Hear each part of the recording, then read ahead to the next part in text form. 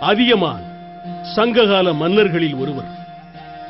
அவர் மக்களை மகிழ்ச்சியாகவும் கவலைகளின்றியும் ஆட்சி செய்த மன்னர்.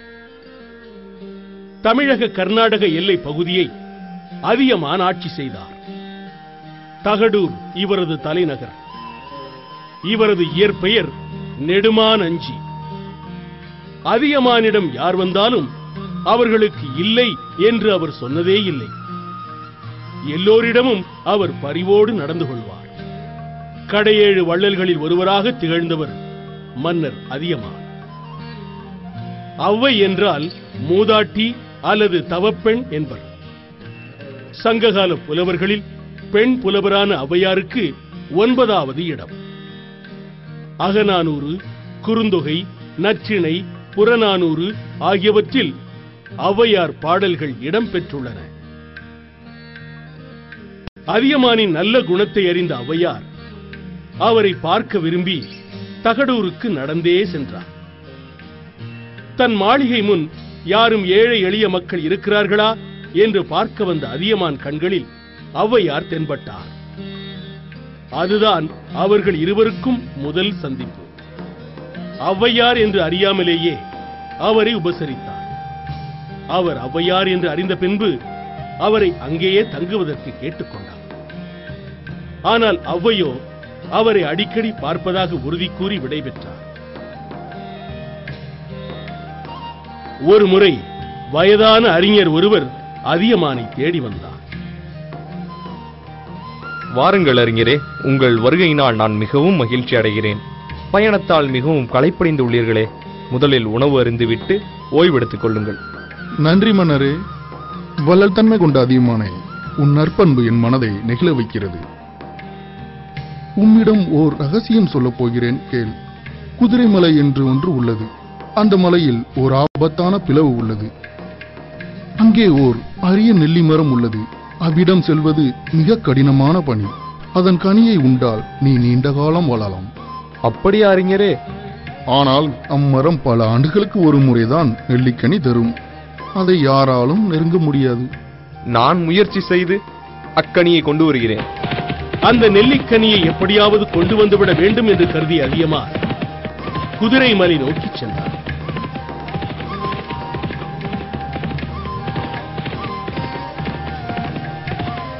தானே இறங்குவதாக முடிவு செய்து அம்மரத்தை அடைந்தார் அந்த ஆபத்து நிறைந்த முயற்சியில் ஈடுபட்டார் அதியமான். அந்த மரத்தில் இருந்தது ஒரே ஒரு கனிதான். அந்த கனியை பக்குவமாக எடுத்துக்கொண்டு மேலே திரும்பினார் அதியமான்.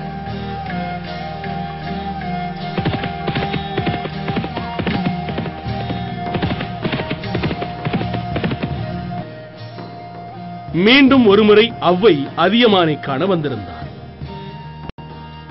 அதியமான் அப்போது அங்கு இல்லை. அதியமானுக்காக காத்திருந்தார் அவ்வை. உங்களை காக்க வைத்ததற்கு என்னை மன்னியுங்கள் அவையே உங்கள் முகம் மிகவும் வாடிப்போய் உள்ளதே.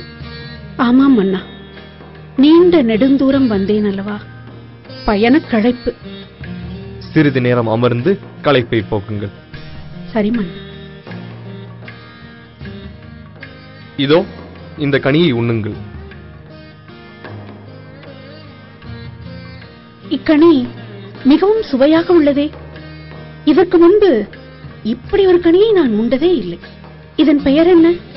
இதன் பெயர் நெல்லிக்கனி. இது மலையின் மேல் உள்ள ஒரு பிளவில் விளைந்தது. இதை உண்பவர் நீண்ட காலம் வாழலாம். இக்கனியை நான் உண்பதை விட நீங்கள் உண்டால் தமிழ் ஊரும் நல்லுலகுக்கு நல்லது. வலம்படு வாய்வாள் ஏந்தி ஒன்னார் களம்படக் கடந்த கழல் துடி தடக்கை. ஆர்கலி நரவின் அதியர் கோமான் போரடு திருவின் பொலந்தார் அஞ்சி. பால்புரை பிறை முதல் பொலிந்த சென்னி நீலமணிமிடற்று ஒருவன் போல.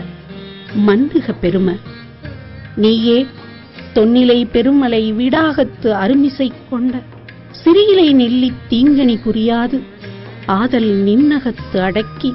சாதல் நீங்க எமக்கு ஈந்தனையே. வெற்றி தரும் கூர்மையான வாழேந்தி போர்க்களத்தில் பகைவரை வெட்டி வீழ்த்தும் வீரக் கடல் அணிந்த வேந்தனை. வீரவாளை கையினை அழிந்த ஆரவாரம் செய்யும் முரசினை உடைய அதியர்களுக்கெல்லாம் தலைவனே. பகைவரை வென்று பொன்னால் செய்யப்பட்ட வாகைப்பூ மாலையைச் சூடிய அஞ்சியே தொன்று தொட்டு புகழப்பட்டு வரும் நன்னிலைமையுடைய பெரிய மலைமேல் உள்ள ஆழ்ந்த பிளவில் வளர்ந்த சிறிய இலையுடைய கரிய நெல்லி மரத்தினது இனிய கனியை. மீண்டும் அத்தகைய கனியை பெரிதற்கு அருமை என்று நினைத்தும் அதன் பெரும் பயனை எமக்கு முன்னதாக எடுத்துக் கூறாமல் நானும் தமிழும் நீண்ட நாள் வாழும் பொருட்டு எமக்கு அளித்தாய். நீ வெண்மையான பிறையணிந்த திருமுடியினை உடைய சிவபெருமானைப் போல நீண்ட நெடுங்காலம் நிலை பெற்று வாழ்வாய். அவ்வை அதியமானின் மீது கொண்ட அன்பும் அதியமான் அவை மீது கொண்ட நட்பும் காலத்தை வென்றது. தமிழக மக்களின் மனதில் அவர்கள் இருவரும் என்றென்றும் நிலைத்து நிற்பார்கள். வாழ்க அதியமானின் வள்ளல் தன்மை. வாழ்க ஔவையின் தமிழ் பண்பு.